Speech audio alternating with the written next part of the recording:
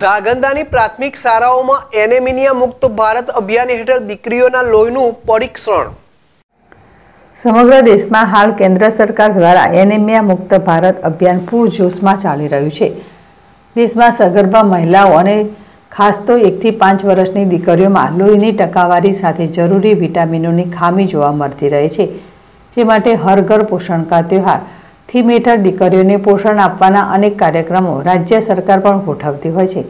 ધાંગધ્રા તાલુકા health વિભાગ દ્વારા ધાંગધ્રા શહેરની તેર જેટલી પ્રાથમિક શાળાઓમાં ધોરણ ત્રણથી આઠમાં અભ્યાસ કરતી આઠસો અઠ્યાવીસ જેટલી દીકરીઓનું ટી થ્રી ટેસ્ટ ટ્રીટમેન્ટ અને ટોલ્ક અંતર્ગત લઈ પરીક્ષણ કરી વિદ્યાર્થીઓને પોષકયુક્ત આહાર અને તેની ગુણવત્તાની સમજણ આપી.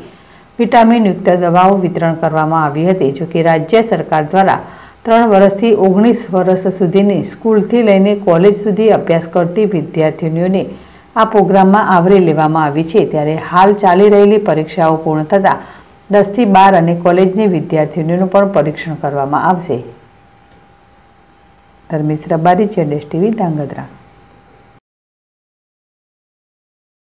આજ રોજ શાળા નંબર છ ની અંદર ધાંગધ્રા તાલુકાની અંદર ટી થ્રીનો પ્રોગ્રામ અમે શરૂ કરવા જઈ રહ્યા છીએ.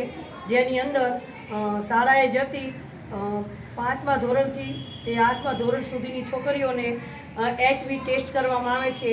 જે પ્રોગ્રામનું નામ છે ટી થ્રી એનિમિયા જેની અંદર એનિમિયા માટે એચવીનો ટેસ્ટ કરશું, ત્યારબાદ એના વિશે સલાહ સૂચન આપશું અને સલાહ સૂચન આપ્યા બાદ જે કોઈનું એચવી વધુ ઓછું હશે એ મુજબ અમે એને સારવાર આપશું.